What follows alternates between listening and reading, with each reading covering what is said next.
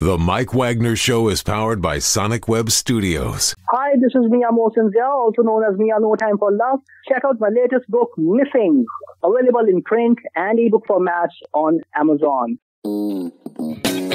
It's now time for the Mike Wagner Show, powered by Sonic Web Studios and sponsored by international award-winning author Mia Mosinzia of Missing.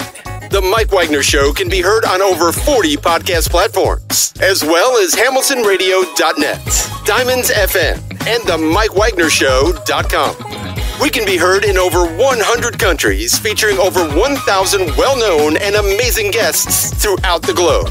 And named one of the top 100 global podcasts in the New York Weekly Times, Hollywood Entertainment News, Los Angeles Weekly Times, Apple, and Chartable.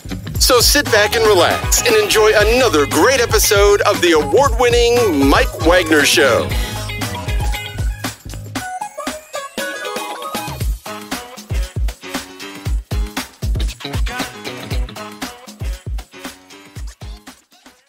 Hey everybody, it's Mike from the Mike Wagner Show, powered by SonicWeb Studios. Visit online at sonicwebstudios.com for all your needs and brought to you by our official sponsor, the Mike Wagner Show, international warring author Me Mia Mosinzia of Missing, available on Amazon and paperback and ebook. We're here with a terrific lady who is an award-winning children's advocate in digital media, affecting children ranging from social media to violence in the news. She worked three decades to improve the lives of young children. Recently, she was a senior advisor to Governor Gavin Newsom of California focusing on the um, the early childhood development. Also served in executive and various leadership roles in um, imp- implementing a number of um, you know things. Also involved in First Five, San Mateo, D.C., and the state of California. Also um, leader in the implementing of the project Proposition 10. And uh, she uh, about the organization. It's basically becoming the nation's leading nonprofit organization dedicated to advancing and supporting the interdisciplinary, informative, and educating um, the uh, public on child health and wellness when it comes to social media as well too. And of course you know this has been news lately and a lot discussed as well too. This is something very important. If you have um, children you might want to check this out. Live ladies and gentlemen from plus studios in beautiful downtown san jose the um the leader of children's and screens institute of digital media and child development ladies and gentlemen kris perry kris good morning good afternoon good evening thanks for joining us today Wow, what a pleasure. Nice to be here.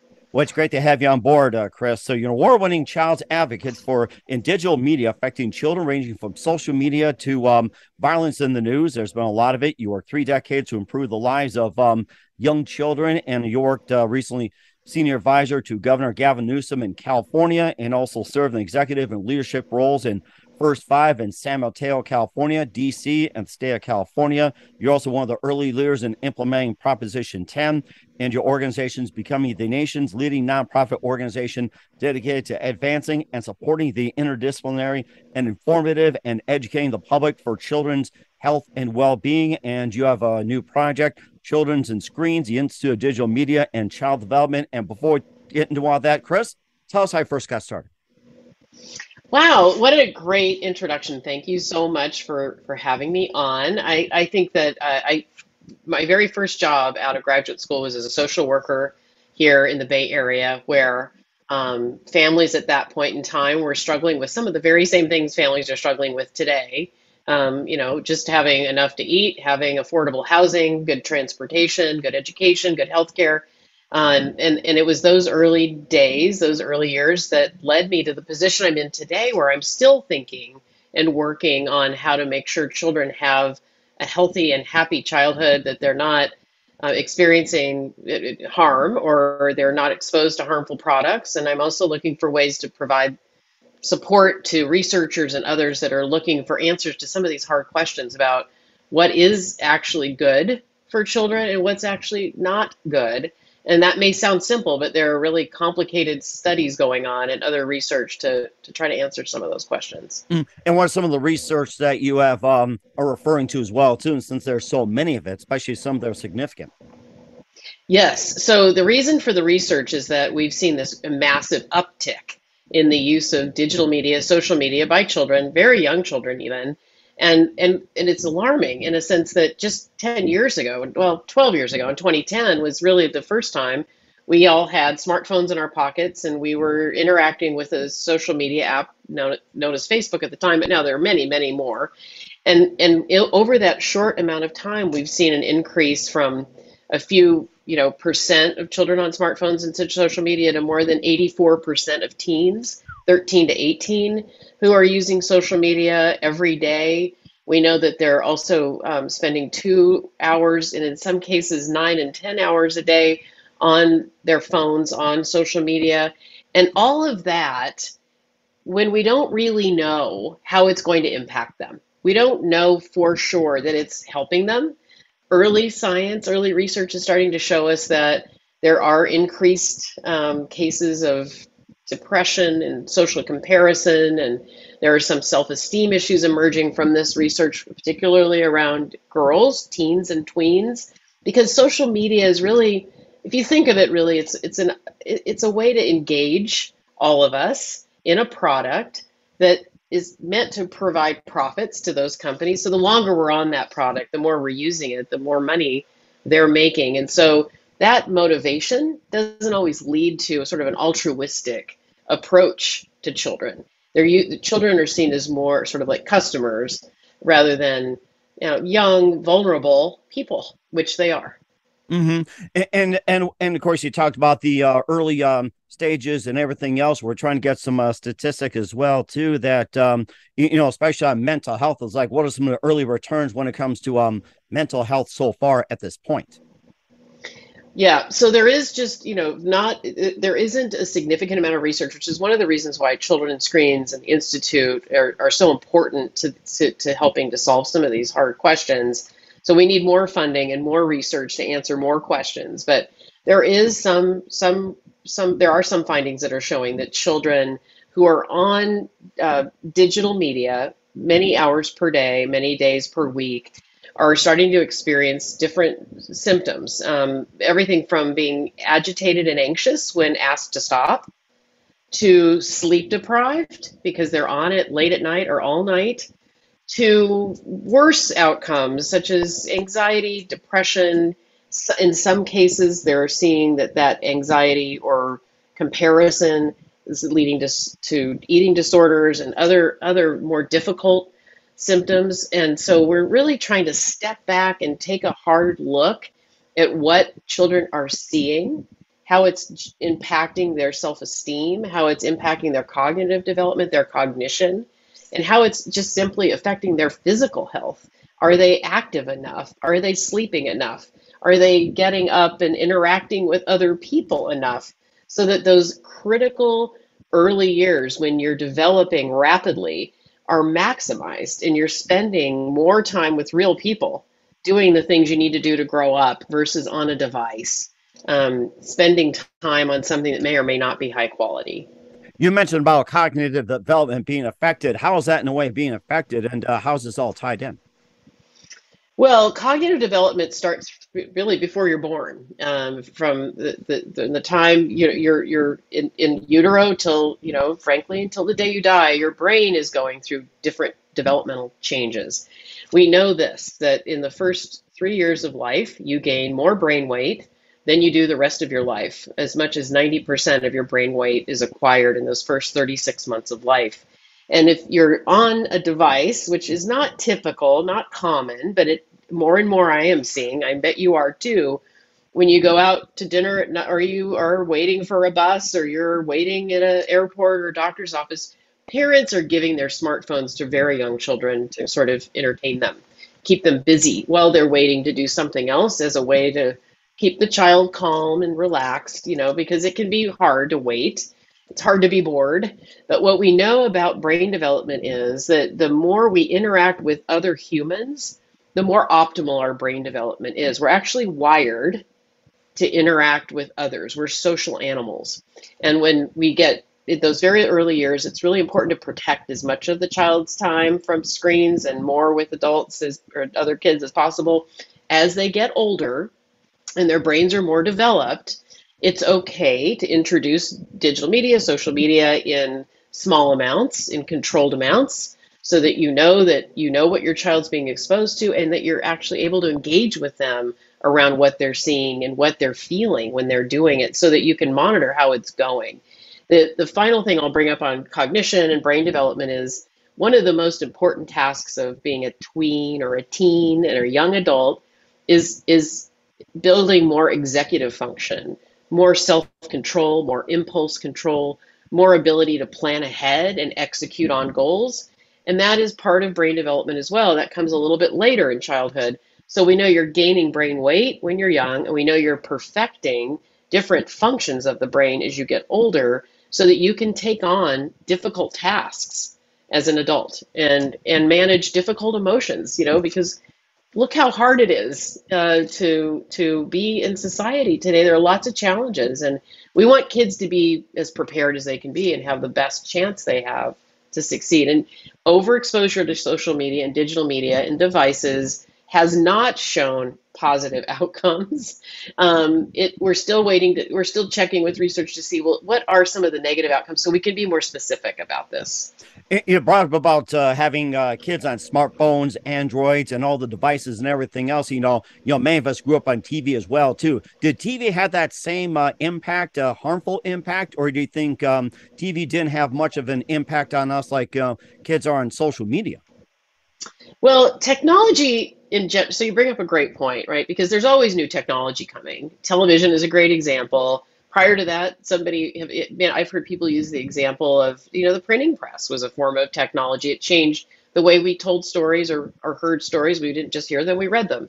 Now, television was a visual storytelling device. Now, with computers and digital media, we've moved into a different realm where the technology is persuasive. It's designed to tailor itself to you. It the more you interact with it, the smarter it gets, and the more it engages with you in the way you want to be engaged with. The more it tells you what you want to hear, what you want to see. That is different fundamentally from a television, which is a passive viewing experience and is the same for everyone. When you move to these uh, social media apps or um, honestly, even search engines, right, are curating content for you minute by minute based on what you search, what you stay longer on, et cetera. And I know people know this in your audience because it's just in, it's becoming sort of it's just really obvious. You know you go to type a sentence and it finishes a sentence for you. So it's not it's not hidden from us. What we're trying to do at Children's Screens is say, okay, as adults we make informed decisions about what we do and don't use, but for children they're not really able to make informed decisions because their brains aren't fully developed and we don't really have all the information yet about what's what's either good for them or not good for them. Mm-hmm. And we have some guidelines as well too that parents can take to safeguard their children. We'll talk about that, but first, listen to the Mike Wagner Show at the MikeWagnerShow.com, powered by SonicWeb Studios. Visit online at SonicWebStudios.com for all your needs. Look at a professional website without breaking your budget. SonicWeb Studios is the answer. SonicWeb Studios offers fast, affordable custom web designs at below the competition rate. Call today 1 800 303 3960. That's 1 800 303 3960 or email to support at SonicWebStudios.com. Mention the Mike Wagner Show, get 20% off your first project. Sonic Web Studios, take your image to the next level. Also, time to give official shout out to our official sponsor of the Mike Wagner Show, international war ring author Mia Molson Zia. If you love fast paced mysteries, you love Missing by Mia Molson Zia, available on Amazon and paperback and ebook. Missing is fast paced and intriguing with an unforgettable twist. Takes place in four countries, two strangers, one target where truth is illusion and those you love will be the first go missing. It's available on Amazon and paperback and ebook. Missing by Mia Molson has garnered great reviews. And Eve Levin and George Pa, Howard celebrities including Joanna Cassidy, Forbes Riley, and many others. So grab your copy today for Goes Missing by Mia Molson available on Amazon. Also, check out the Mike Wagner Show at the MikeWagnerShow.com over 40 podcast platforms, including Facebook, SoundCloud, Spreaker, Spotify, iHeartRadio, Anchor FM, iTunes, and also on Apple Music as well, too. YouTube, Rumble, BitChute, heard on HamiltonRadio.net every Thursday night, 9 p.m. Eastern, 8 p.m. Central, and a few networks coming soon. Take the Mike Wagner Show with you on any mobile device. Subscribe to the Mike Wagner Show on the YouTube channel. Follow the Mike Wagner Show on Instagram, Twitter, and TikTok today. And for great gift ideas, go to Amazon.com and check out the Mike Wagner Show podcast. T-shirts, pop sockets, throw pillows, tote bags, hoodies. Makes great gifts 24-7. Go to Amazon.com. Check out the Mike Wagner Show podcast. And for more great gift ideas, go to amazon.com slash me and Wilson Zia for great books like Missing, Once and Wrinkles, also t-shirts, pop sockets, hoodies, phone cases, and more. Amazon.com slash me and Wilson Zia. Check it out today. I'll support the Mike Wagner Show on Anchor FM, PayPal, and the MikeWagnerShow.com. Make sure you do so today. We're here with the award winning children's advocate in digital media, Kris Perry, here on the Mike Wagner Show, heading up the Children's and Screens Project, Institute of Digital Media and Child Development. And uh, before getting to guidelines, and um, you know, you know, give, give us an overview about uh, Child and Screens, and um, you know, a quick overview and how it came about. Oh, well, that's a great question. We came about a, a little over 10 years ago, and our founder was similar to many of the parents that are listening today was a little bit um, surprised and and concerned when when her children, mostly her son, started to use digital media. In this case, it was uh, video games in such a way that it really it really surprised her, and it, it actually made her look for information. What what is this? Why is he? Why does he seem different? Why is he agitated? Why is it hard for him to stop? What do I do as a parent? There really weren't very many answers, so she, as a physician, decided to launch an institute to research these questions more deeply and has been supporting the work ever since that time. And the work itself really is uh, funding new research to answer some of the questions I'm talking about today, but also translating the science that many people are doing across the, around the world around these topics so that parents can understand the research more easily and policymakers can understand the, the information. And we hope that when that science is translated into more understandable language, that people will take action either in their own homes with their own children because they have the information, or in the case of policymakers, they'll say we should help all parents. We shouldn't leave everything to individual parents to figure out. Maybe there are some protections we can put in place to for children so that their parents don't have to be ahead of the game every day every night. Um, I'm sure people are worn out by this because it turns into a bit of a power struggle um, when you're when you especially as your children get older and they have a lot of autonomy to say, you know, I want you to put that phone away. I want you to leave your phone in the kitchen overnight. I want you to leave your phone at home when you're at school. It just turns into to a really tough conversation, and families are are I, parents are weary of the conversation at this point. Mm-hmm. And, and, also maybe think too that the, uh, the use or abuse of phones has taken place even in restaurants as well too. And I'll share my story of it. I took my family out to a nice um, Mexican restaurant in Western North Dakota and met by a singing waiter who was very entertaining. And we're sitting there having our meal, and he was sitting there singing away, singing away. We're all enjoying it, and he was the only one that do it. And the other people like, how come you're not coming to our table? He says that's because they're on their phones. That's why. So and I, and I just want to share a great story. The fact that um, you don't have to be on your phone all the time. It's like you can just sit there, eat, and be entertained. And the only time you look up at your phone is when you're trying to get information, answer a question. But you're not on here just to look at news or see what's going on Facebook and Instagram, or unless you want to just figure out, um, you know, you know what's the bill, what's the charge, get reviews and everything else. So that's just another case. And of course, you know, speaking about um, how how how how long. Uh, a teen should be on. There are there are rules we had back in days, like you're not allowed to watch like say two hours of TV, one hour of TV, three hours of TV. It depends on if it's like day, month, week, and everything else. And um, how much screen time are children allowed uh, to be on their uh, their phones, their tablets, and uh, all the um, multi multimedia devices? How long do you think? What's the recommended screen time for kids these days? Yeah, well, unfortunately, there really isn't such a thing as a recommended amount. There, the one thing I can point to that the the APA says for children under two years of old, they really shouldn't be on screens at all. Um, as children get older, you know, they they're preschool age, school age.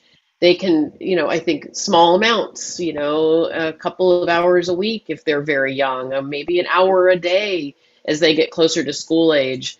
And and the, the the, the longer you can hold off giving it to your children for lengthy periods the easier that whole that whole trajectory is you know. If you start off with big chunks when they're very young we talked about brain development they they are acquiring you know a preference for screen time over maybe other things like running around outside with their friends or sitting in the living room talking to you while you fold laundry you know the things that you would like them to be doing they're not they're going to you're going to be competing with that device. If you so the later you can put that off, the better. The question you also asked is like, what can you do if you do have teenagers and they have had a smartphone for a long time?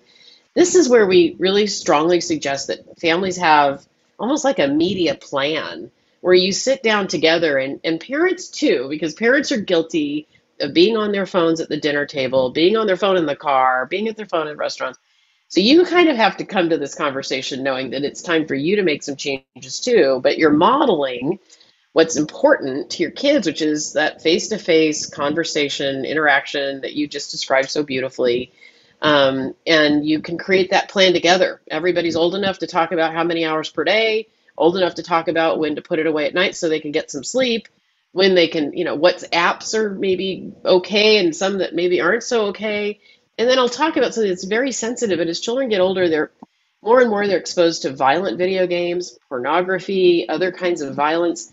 And you really want to keep tabs on not only how much screen time, but what they're viewing while they're on their screens, because they're both important questions to, to talk to your kids about and also violence in the news as well too with all the yes. and everything else. I mean we don't need to go into that. So it's like you know i guess how much of filter can you apply to um, all the news stories that's going on and how much content can they handle? And you know what if the kid decides to um you know copycat after that shooter? And plus you know there's also been some hacking going on. And of course you know you know kids have the ability to hack into people's phones and um, other phones in as young as what three four and five. It's like how can that be pre- prevented and monitored yeah, well, I, I'm glad you brought up that other point. It's not just smartphones and tablets and devices, it's the television. That's considered a screen, and there is content that can be violent, and kids are seeing more and more violent content on the news. And so the, there are lots of different, it, there's lots of different advice, but it's very much case by case, and it is helpful to understand at what age your child is being exposed to this, how to interact. What most of these experts are saying at this point is if this happens, it's really important to engage in a conversation with some open-ended questions. You don't have to come at it and say, "You saw that that that horrible thing on the news. Here's what it meant. Here's why it happened." You know, launch into an explanation. Better to step back and say, "I'm. I, I noticed that the TV was on while that story about the school came up. Did you, what did you think? What did you see? What do you hmm. what do you what do you want to know?" And and that's also just good advice in general with children is the more you can listen and op- uh, ask open-ended questions the more you'll learn about what they're actually processing what they actually think and what may actually be going on. I, lots of times parents tell funny stories about asking you know they're really worried that the child's had a, a very difficult experience and they find out the child wasn't really even paying attention and and didn't didn't notice or couldn't process it, and so it's it's an easier conversation than they expect it to be. Mm-hmm. But again, and, yeah. Go ahead. I'm advice, sorry. I'm sorry. The advice always is stay as a be as aware as you can be and communicative as you can be, because you're sending also the message to the child: I'm here and I'm available to talk about these things, even if I miss it. You can always come back to me and ask me a question later. And, and then how can the parents walk the line in terms of monitoring our kids' behaviors without violating their privacy? That seems to be a, a real tough issue. How how can uh, they walk the line? Yeah, it's such a great question, and especially as children get older and they get closer to adulthood, and they experiencing their own autonomy and their own individ- individualness. Um, but I want to, you know, again, like I said earlier about parents having to model. This is it may seem like it's a privacy issue, but in fact, they're still children and it's probably a device you own and pay for or pay for the subscriptions and et cetera. It's your internet it's your power bill it's it, this is your device. You're allowing your child to use it. Um, and so one thing to re- just to try to remember is that you're doing something that may feel unfair or you're violating their privacy rights but in fact those aren't actually the same as if you were an adult and you had rights to privacy. So we want to walk that fine line. And again, communication, communication, communication. If your child, um, if you feel that they're being open with you about what they're seeing and what they're doing online, and you feel comfortable with them having their device, I think you know you have to trust them. But it, sometimes I, I think parents have often feel like there's something going on that isn't great. There, there are kids that are being cyberbullied. There are kids who are experiencing you know terrific anxiety because they don't they, they have the fear of missing out they don't feel like they belong they don't feel like they're good enough they're not popular they're they're exposed to such large numbers of other children online that isn't typical. Like if you were at just a school campus, you wouldn't know this many teenagers. But when you're online, it's the it's infinite. And so that raises anxiety in children in a way that is hard to manage sometimes. Mm-hmm. So you want you yeah, go ahead. And it's also been a big issue with cyberbullying as well, too. And of course, you know, you know, there's been talk about government getting involved with these, some of these issues. And what do we make of it? And um, are we at a point? Are we wanting the government involved, or are we just simply say stay out of it? Well, I mean, obviously, people have very different views on how much government involvement is necessary, and I and I really respect that. You know, that we all want our privacy, and as adults, we should, you know, stand up for what we believe in. In the case of children What's worrisome is that they're being marketed to, their data is being collected and sold. Oh my And they're also being, you know, as I said earlier, because per- technology is persuasive and intelligent, it's really, really hard to stay ahead of the content coming at them. And then, and even the settings on their phones being changed so that more and more information is flowing out of their phone, including images of them all over all over the internet. And so what we think is necessary at the institute is not only more research to help us understand what exactly is going on with these these apps, but some basic protections that go in that protect all children. In other words, you have to opt in to not opt out of certain privacy settings. You have to have parental permission. You have to be of a certain age because we know that the brain is not yet developed enough to, to know to do certain things. Adults don't always know these things. Um, so we look to policymakers to put some protections in place for children so that they're not leaving childhood with a digital footprint that they can't undo and is will follow them um, for a very long time. Mm-hmm. And of course, any positives in terms of what kids are doing online? Yes, there are some positives. It's really been great to see some interesting community community building efforts and, and social movement efforts and you you probably can think of a few but we know like around environment and climate that young people are coming together online across the world to talk about um, you know what they can do how they can be active. There are communities like lgbtqi teens that are often isolated and don't have any friends mm-hmm. like themselves where they live. They can go into communities where they find other teens like themselves and then finally, I didn't mention this, especially with young children, but all kids, video chatting with family members, you know, having fun with real people like we're doing right now for a while is fine. This is this is also a really positive use of screen time. It's, it, it allows for some connection. And during the pandemic, we know how isolated the kids were, and that, that one of the positive things was being able to see friends online. And so we really we really encourage that um, connection. Mm-hmm. And, and, that's very good thing as well too. And where can we find uh, more information? How can they access uh, children and uh, screens? Please visit our website at www.childrenandscreens.com, where we have um, access to all of our Ask the Experts webinars, many of which have covered topics we've covered today, Mike. But also, we have tip sheets. We also have summaries of all the, the legislation that's moving through Congress and some of the states. And finally, um, we have uh, updates on events that are going on that they that parents may want to attend or things that they may find interesting. We'll certainly check that out. And what's coming up for Kris Perry and Children's and Screens in uh, 2022 and beyond, we'll find out just one minute. You listen to the Mike Wagner Show at the MikeWagnerShow.com, powered by Sonic Web Studios. Visit online at sonicwebstudios.com for early needs and brought to you by official sponsor the Mike Wagner Show, international warring author Mia Molson Zia Missing, available on Amazon and paperback and ebook. We'll be back with Kris Perry of Children's and Screens after this time out. The Mike Wagner Show is powered by Sonic Web Studios. If you're looking to start or upgrade your online presence, visit www.sonicwebstudios.com for all of your online needs. Call 1 800 303 3960 or visit us online at www.sonicwebstudios.com to get started today. Mention the Mike Wagner Show and get 20% off your project. Sonic Web Studios. Take your image to the next level. Hey, everybody, my name is Forbes Riley, and I'm an American actress and a TV host. And I was delighted when I got my copy of Missing, which is Extraordinary Relation of Ordinary People based on a real life relationship. It's just, it's well written, it's amazing. You know, it talks about a man who has lost his wife and his daughter, and it's very well done. I'm going to highly recommend that you go get your copy of Missing. It is a powerful, exciting read. Mr. Mian Moshe Zia. He is the author of Missing. And I want to give a big shout out and a kiss all the way halfway around the world to my dear friend. Check him out at Mia's website. It's called www.miamotionsea.com. Missing, available on Amazon. Again, I'm Forbes Riley, and I will see you again soon. Bye bye.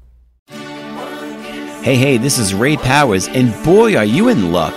Right place, right time. Tuned in to The Mike Wagner Show. You heard me. We're back with Kris Perry of Children's and Screens Institute of Digital Media and Child Development here on the Mike Wagner Show. Very informative talk, topic and very important discussion and something to learn. And we hope uh, for those who are uh, watching and listening out there, parents and children, we hope you uh, take all this information and apply it as well too. And what else can we expect from you and your organization in 2022 and 23 and beyond, Kris? Thanks for the question. We're um, our, we're experiencing we're going to have our 10th anniversary next year, so we're going to kick off the year with a gala in January where we'll be hosting a presidential lecture with Frances Haugen, who was the Facebook whistleblower, who in many ways peeled back some of the, the layers of what's going on in these in social media uh, companies and how they're collecting data and how they're perfecting it. Uh, so that'll be a really exciting event to hear more from her. In the middle of the year, we'll be putting together a supplement, which is a big research uh, journal for, for cross disciplinary researchers to come together and talk about this issue. And then in the fall, we're having our third scientific congress in Washington, D.C., where we'll bring researchers together from around the world to learn more, but also to talk directly to policymakers and, and seek some support and help from them on some of these issues. We'll certainly keep up to date on that as well, too. And who do you consider biggest influence in your career, Kris? Oh, what a great question. I'd have to say Marian Wright Edelman, um, who launched the Children's Defense Fund and is still an advocate today for children, particularly children furthest from opportunity. Okay, what's the best advice you can give to anybody at this point? Listen, listen, listen. Pay careful attention to what you're hearing, and make make make make steps to improve what improve problems that that you know are important right now and most importantly, put down your phones when necessary. So that's the most important. yeah, it's a good thing to do sometimes. Yes, I right. agree. I, I forgot to do that. I forgot to remind everybody to put down the phones and listen, but we'll do that another time. We'll have you on. So we're here with Kris Perry with Children's and Screens Institute of Digital Media and Child Development here on the Mike Wagner Show. Kris, a very big thank you for your time. You've been absolutely fantastic. Looking forward to having soon. Keep us up to date. Keep in touch. Love to have you back. And once again, what's your website? How do people contact you? And where can people get more information about children's and screens and more? www.childrenscreens.com.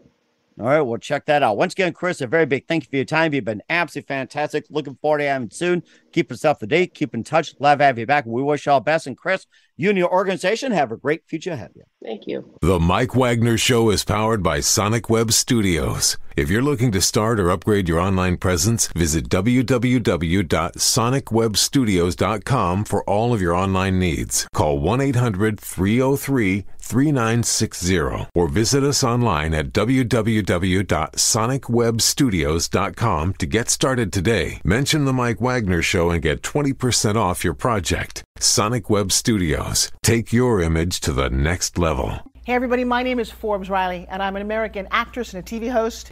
And I was delighted when I got my copy of Missing, which is Extraordinary Relation of Ordinary People based on a real life relationship. It's just, it's well written. It's amazing you know, it talks about a man who has lost his wife and his daughter, and it's very well done. I'm going to highly recommend that you go get your copy of Missing. It is a powerful, exciting read. Mr. Mia Mohsen Zia. He is the author of Missing. And I want to give a big shout out and a kiss all the way halfway around the world to my dear friend. Check him out at Mia's website. It's called www.miamotionsea.com. Missing, available on Amazon. Again, I'm Forbes Riley, and I will see you again soon. Bye bye.